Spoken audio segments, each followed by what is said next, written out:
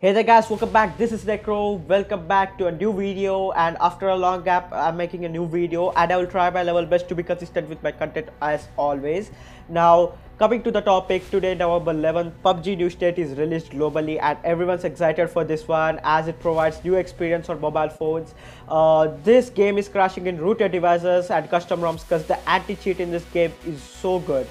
To fix the crash, all you need to do is follow the steps I'm providing. It's really simple guys. First thing you need to do is turn off the developer settings in your settings page. Uh, if you don't know where it is, just go to your settings app and search for it. Uh, just type develop and it will show any result. If it don't shows any result, then it's it's fine guys. You don't have any developer settings turned on. All you need to do is uh, go to your developer settings if you have uh, turned it on and just turn it off like that and the second one is uh, go to your Magisk app. There you you need to go to the settings in the Magisk app and make sure you turned on the Magisk hide. And then go to the super user in the Magisk uh, which is the shield icon to be clear.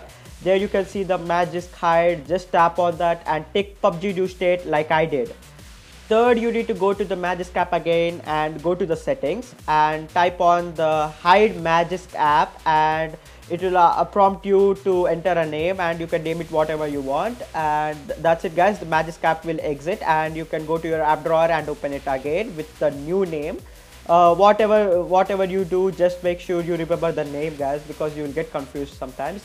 And the fourth thing is go to the play store and download SD Maid guys. SD Maid is an app a rooted app and just uh, open it. After installing it open it and give it all the permissions it asks and also give the root access.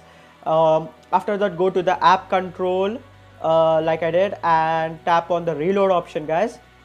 Wait for it to search for the apps which are running. And after that uh, you can search your custom magisk app which you have named in the previous step and you can see it in the running state as always. Uh, you just uh, tap on that and freeze the app guys.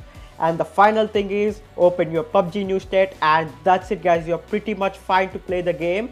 And there will be no crashes nothing this time guys. As you can see uh, it's not crashing and the game has opened uh, perfectly fine. Uh, I hope you like the video guys. Thank you for watching the video. I will try to be consistent here onwards. Uh, thank you guys. Subscribe me and stay tuned for more videos